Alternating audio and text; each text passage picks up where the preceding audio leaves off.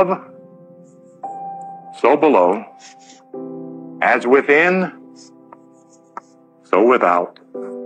That's the law of correspondence. It is not Solomon's, David's, Billy, or whoever. It's as above, so below. Whatever is going on in your head is going on in your body. Whatever is going on inside your body is going on outside in your life. That's the way it's immediately relevant.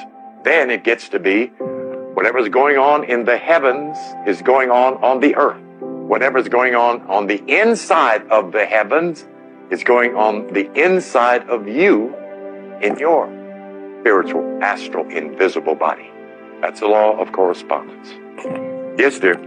Are you sort of suggesting that you could affect the heaven? Is it that you are already affecting the heavens? The heaven you're affecting is on top of your head.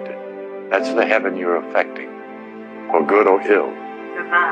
That's right. Precisely. Very good. Very good. Very perceptive.